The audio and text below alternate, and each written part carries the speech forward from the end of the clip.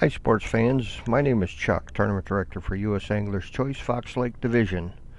Our first picture is of Jeff Harvey and Chuck Holub with a 6.66 pound bass, largest we've seen lately on the Fox Chain of Lakes. Uh, in first place uh, was Joe Mazuka and Travis Alcott.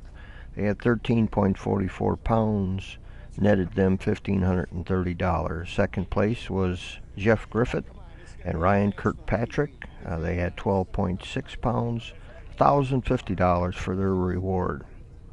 And next, of course, is uh, local favorites Pat Koffler, and Dave Litton. They had a five fish limit, 11.75 pounds, and won $775 followed up by Carl Kuchik and Howard Bradley, who failed to have their pictures taken. They took fourth place by themselves. Uh, they had 10.9 pounds, only had four bass for that. In first place is Carl Riedel and Brian Smolt. They had five fish, 10.4 pounds. Uh, five hundredths of a pound, a little bit less than uh, Carl Kuchik. Then followed up uh, with in sixth place with Dave Reef and Jason Reef, five fish limit, 10.35 pounds. They won $320.